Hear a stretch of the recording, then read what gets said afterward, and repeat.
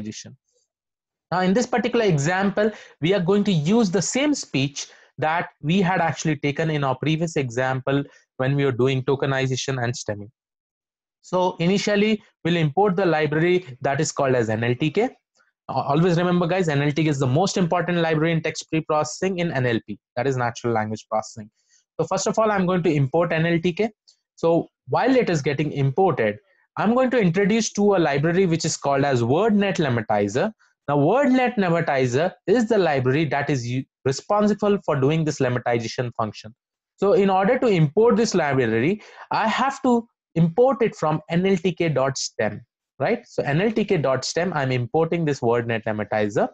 And I have also introduced in my previous video about stop words, right? Stop words is the library that is responsible for removing some of the words over here like of, is, the, that, to, is. So these all words does not make a meaningful or does not play a better role when we are doing sentiment analysis because sentiment analysis usually happens on positive and negative words, right? If we find a positive word in a particular sentence, um, then we can we can think uh, we can guess at least it is a positive or a negative sentence. So this kind of words that we have like and the of the all this kind of us all these words can be removed by using the stop words which we have already discussed in our previous video right?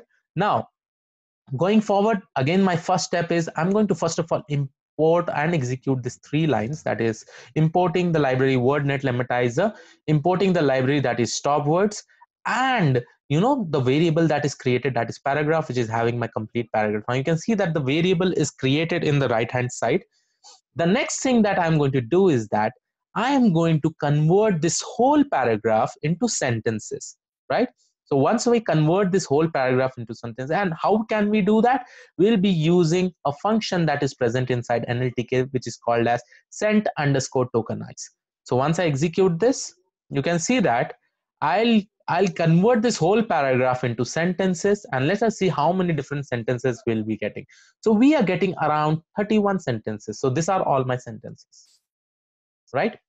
Now, the next step is that what we will do is that we will import the, the library that was import for lemmatization, imported for the lemmatization that is WordNet Lemmatizer.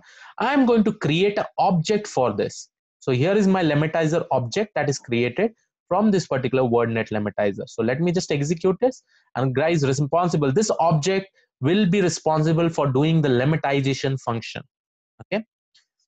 Fine, this has got executed perfectly. Now, these four lines are the most important line in this. And it is almost similar like how we did it for stemming. Just there will be a small difference. So first of all, I'll go and put a for loop in the list of sentences that I have. So I'm using range of length of sentences.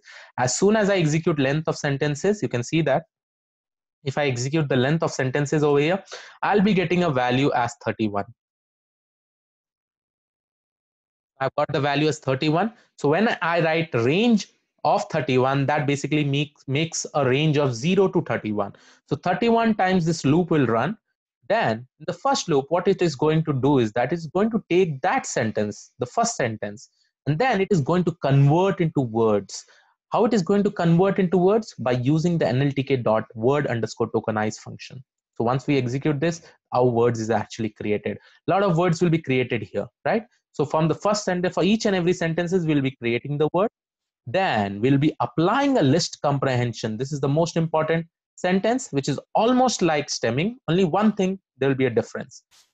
For word in words, if that word is not present in stop word, which is in English language, I'm going to take that word then I am going to write something like lemmatizer dot lemmatize. Lemmatize is the function uh, which is responsible for doing the lemmatization process.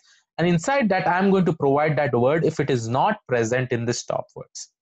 So after I do that, I'll be getting a list of words in this particular words variable.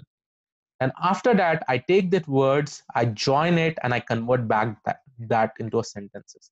So this sentences will actually consist of all, all the words after removing the stop words and then doing the lemmatization. So it will be consisting of all the lemmatized words in these particular sentences.